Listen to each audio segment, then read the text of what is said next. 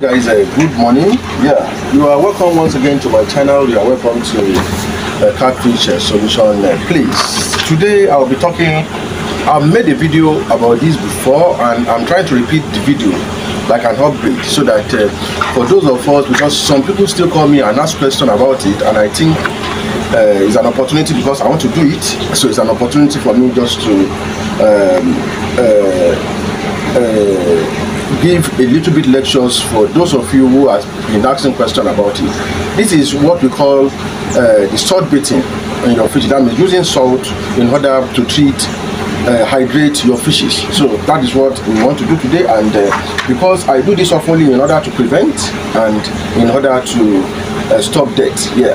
So i use it in preventive in, you can use it to prevent your fishes and if your fish are having problems maybe they're having what we call the bacterial infection they're having the fungal infection or any parasitical infection. This is helpful for you in order to treat uh, your fishes too as well. So because i use it oftenly for preventives so because i do use it every sometimes i use it two times in a week. So depending because i want my fishes to do what? Not to be runt not to be stunted. So i treat them oftenly so that they can heat and they can be hijacked. And as you, as you know that well salt in um, fishes do have what we call the sodium and uh, the chloride into the into the blood system. Not that is uh, adds a negative side does not it does not have a negative side. This add what we call the sodium and the uh, the sodium and the chloride into their blood not that you are using any any antibiotics that may be harmful to them when you overused. So this you cannot overuse. So i like it so much and i love it so much. So before i proceed what we call uh, infection uh, that means bait do take care of your skin of your fish's infection and inflammation in the fish. It takes care of that. The gills the gills of your skin the skin result uh, in the losing of uh, losing of your fish's hydration. So it takes care of that. That is the purpose of you using salt uh, for your fishes. That is the essence of using salt for your fish and i told you earlier that this completely takes care of what we call uh, added more of the sodium and the chloride uh, to the body tissues of your fishes. So how do we do the applications? So today i'll be talking about two things. I'll be talking about the salt bath and i'll be relating it with what we call the salt dip.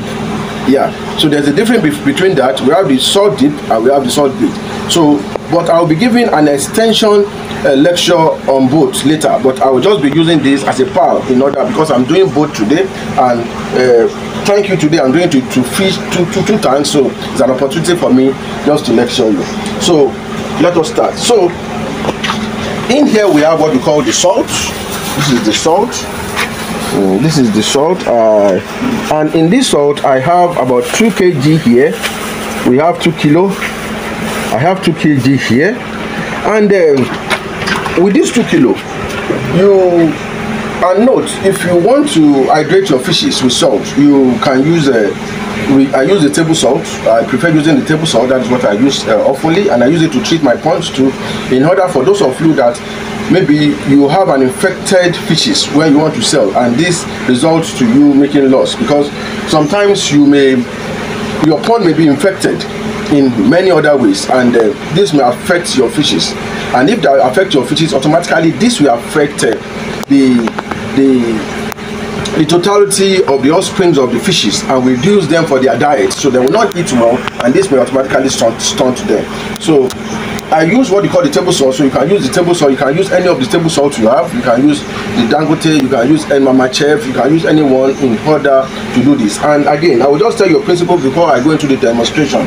We have we to me when my fishes are fingerlings or they are juvenile, I use one kg or if they are even table size grow out, I use one kg of this when they are my fish are grow out when they are bigger maybe they are when they are getting to the launch when they are about two months i use one kilo of this into 1000 liters of tank. This is a cubic meter. We call it 1000 liters of tank and this is a cubic meter. So i use this into that. But if i'm treating my fryers i will have to reduce it. So it, it i reduce it down if i'm treating my fryer so i'll be taking you through the reduction now and how I make uh, the usage. I've introduced to you the benefit and the purpose of this and uh, I think this will help a lot of people today and uh, I'm talking about, remember I'm talking about your salt bits and your salt dip. So I'll be doing, I'll be going into the experiment and I told you earlier, when and how do you apply? When do you think it's time for you to do the application? When you notice that one, your fish are sluggish, when you notice that the bevel of your fishes are turning white, when you notice that these maybe i'm talking about the small small fish now even the bigger fish. When you notice that the gills of your fishes are dropping. When you notice uh, that the uh, the dorsal vein of your fishes are dropping. When you notice the the from the head from the uh, for the middle part to the tail part by the side of it is turning white so this is the time for you to apply. Maybe there's a there's what we call some parasitical uh, uh, element that is disturbing your fishes. Deals will never make them grow. They will never consistently eat. They will be sluggish and they will by the end of the day if you don't treat them fast they will be stunted. So this is the benefit of it. So by the time you notice such please let me just chip in this. If you notice that your fishes from the middle side to the tail are whitish you will see some uh, labeling of white it will be it will be marked. A little bit match that means from the tail to the you will see a sign like this. This place will automatically get white. The the the, it's like a line that will get white out of it. If you notice that please the first thing you need to do is to check your water. If the ph of water is not okay you can please try to correct that. You can correct that through the calcium chloride. You can correct that through the sodium carbonate and any other means. And the wonderful um, uh, seashell you can correct that so that that will take care of that first. So after then you now hydrate them with salt very very important. So by the time you them with salt make that make sure that you do this oftenly for like five days every problem on them will get solved. So let us go to uh, the to demonstrate